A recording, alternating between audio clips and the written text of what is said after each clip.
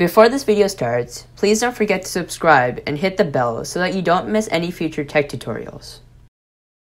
Hey guys, welcome back to my channel, and in today's video, I'll be showing you how to change the download location for any apps or files you've downloaded from Google Chrome on Windows 10 on a Windows 10 PC or um, laptop.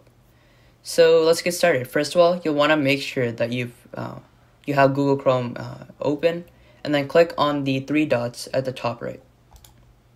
Now click on Settings at the bottom, and in the left menu, you'll want to click on Advanced. Now click on Downloads under Languages. And under Downloads and next to Location, you should see um, click on Change. Now by default, everything goes to the Downloads folder, but you can change that. So say I want them to go to Desktop. I can just click on it and click Select Folder. And you can uh, select any folder you want. Another feature is um, ask where to save each file before downloading.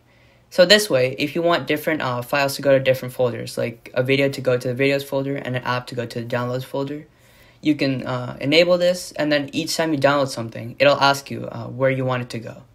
And yeah, that's it. Thank you for watching this video, and I hope it helped.